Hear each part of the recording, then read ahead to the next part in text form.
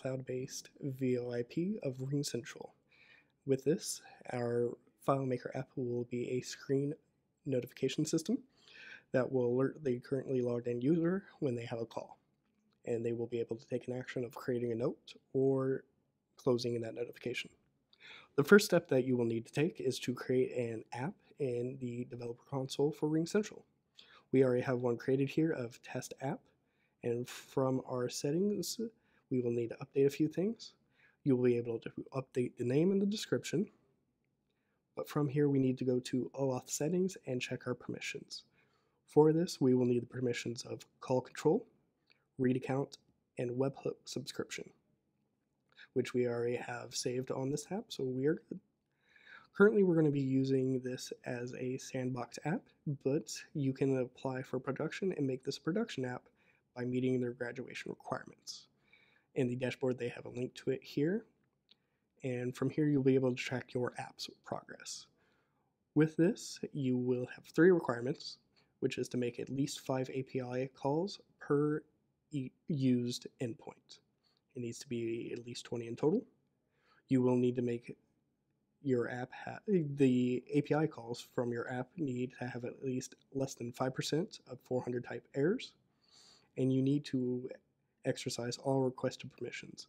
So API calls are related to call control, read accounts, and webhook subscriptions. Uh, once your app is in production, you won't be able to change settings so you won't be able to change the application name, description, or the permissions. From here, we can go to our application and we will be greeted with this checklist. A lot of this has already been completed, um, but we can go through each of these steps.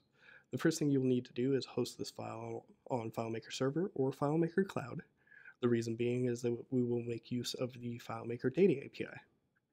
You will need to create a web account with the read-only access privilege set, and then add the extended privilege of FM REST to read-only access. From here, you will need a webhook file. We give a basic PHP one right here that you can download, and you will need to host that webhook file. To give a brief overview of that, we will need the information of that web account and these two defines. Our webhook will be grabbing a JSON object from RingCentral, and we have these three variables just to parse out uh, which notifications we want. Every time a call is made, it actually will create and send several objects for when the call is started and when the call is ended. But we only want notifications for when the call starts so we will be using these three variables to uh, parse through those. Uh, from here, when we actually run the FileMaker script, we are going to need a specified layout, a specified script, a specified file, and a specified base URL. I kept these two filled in because these are the layout and the script that we use in the demo file. If for whatever reason that you change your the file name when hosting, you will need to put that here. It does note that you need to do percent %20 in place of spaces in the file name. You will also need to specify the host URL and the base URL, base URL variable. From here, we're using the FileMaker Data API to get a, a token. And from here, this if statement right here is basically trying to only create uh, run our script if the call is inbound. So these are where our three variables are being put into use. We need a code of setup, a type of call, and a direction of inbound. From here, it just runs the script, and we then will uh, log out and delete that token. Uh, everything underneath this is just our data API functions, um, but those are going to be in the file itself too. Going back to our demo file here, once we have that webhook file hosted, will we will need to create a RingCentral subscription, which we have a RingCentral setup layout to do that. From here, you will have client ID and client secret for both Sandbox and production. Uh, since our app is only in Sandbox right now, we have those credentials right here. We also have a checkbox for if you want to use production credentials. To log in, you will need an admin uh, login for RingCentral, which we have that username and password here, and you will need the URL of your hosted webhook file. From here, we'll just log into RingCentral. It's going to create an access token, refresh token, and it's going to create our RingCentral subscription ID. So now that we have that created, we'll come over here and just check that off our list. Uh, the next part is creating a user record, uh, which I have already done, and creating an account for that user, which I have also already done. The step that I haven't done is getting that user's RingCentral extension ID. So we'll do that here right now. A brief overview, you will need a phone number for that user, you will need their FileMaker username, and their FileMaker password. Uh, once you uh, create an account, which this button does right here, uh, once that account is created, you can actually update the account here. And this will just give you the ability to update the password of that account. Once the account is created, you will need to get the RingCentral extension ID. And with that, you will need that user's RingCentral username and their RingCentral password. And once we log in here, it's going to create an access token, a refresh token, and their extension ID. We use their extension ID to specify where the notification should go to and which user should go to. From here, we do have a customers table. Uh, these in this demo file are the people that will be calling the users. So we have a phone number right here. And with this, we will try to find who the phone number is, uh, who the call is from, so that they can create a note. As you can see here, we already have two notes, and we will get that started. Uh, the last step is to restart the file and log in with that user account. The startup script will create a listener record.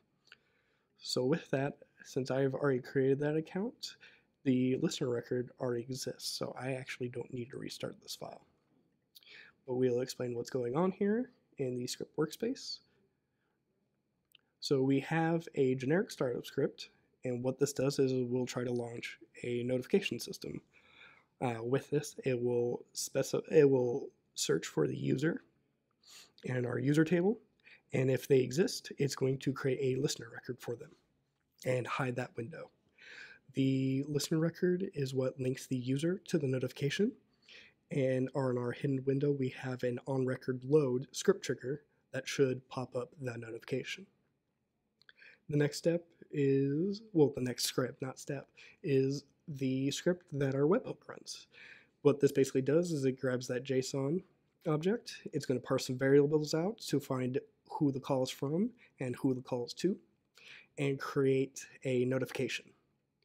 The thing worth noting here is that the notification and listener have a relationship based off a user ID, and we will actually try to go to that listener record. Um, sorry, listener layout. If we are able to go to the listener layouts right here, we will actually delete all the records, which causes the on record load. From our on record load, it will actually try to find who the user is for, sorry, who the notification is for right here, and it will run a certain script. Our certain script is notification pop-up, which gets specified in our RingCentral post data right here when that notification is created. And what that pop-up does is it will actually pop up a notification saying who is calling it and whether they want to close the window or create a note. So without further ado, let me give a call and try that out. So with that, we can see that we have created a notification and we have that layout showing to us now. Since the customer Devin Drake is calling, it's going to show his name, his phone number, which is myself, and I have the option of closing this window or creating a note. So I'm just going to create a note here. I like all caps apparently. Test note 3. Now if we go to that customer record, as you can see, I have that right here of test note 3. But what happens if multiple customers have the same phone number? Let me duplicate my record here, change my name. Instead of Devin, we'll call them test to distinguish between the two customers. And just to show that this can happen at any layout, I'm going to go to the uh, user layout. And I will give a call again here.